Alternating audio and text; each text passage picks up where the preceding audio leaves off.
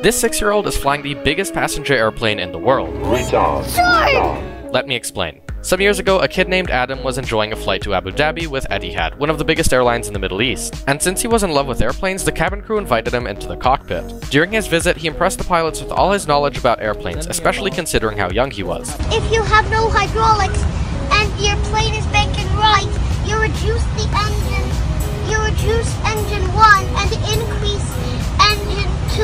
Okay.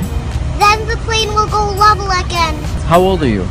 A 5 years, 11 months. Get out of here. Really? The video of him showing off his knowledge to the pilots went extremely viral, which resulted in him getting invited to visit Etihad's training academy, which is when they let him fly one of their Airbus A380 simulators, since his dream is to become a pilot on that airplane. Sadly, his dream airplane is becoming less and less common, but I hope he will still have the chance to fly the real plane before it's retired. And that's why,